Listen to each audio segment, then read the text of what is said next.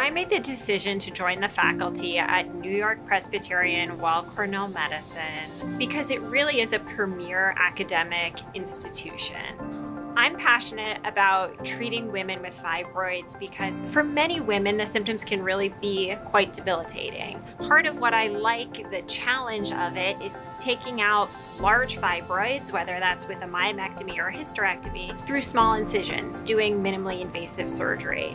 Treating women with endometriosis and pelvic pain, I think it's probably the most important thing I do. Listening to women who've been suffering with chronic pelvic pain for long periods of time.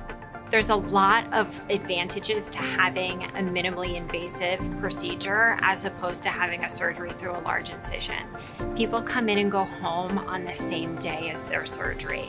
They have lower risk of infection, they have lower risk of other post op complications, they lose less blood, and they get back to their normal life sooner.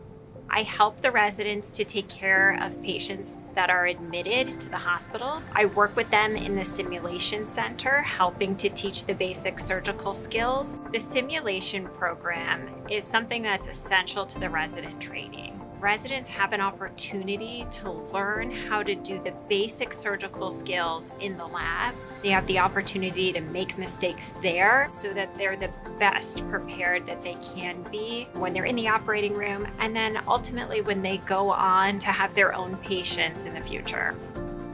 I maintain a dedication to providing the highest quality of care to my patients by staying up to date on the most recent medical studies and medical literature and doing things like attending medical conferences so that I'm constantly still learning about all the new developments there are in the field of minimally invasive gynecologic surgery.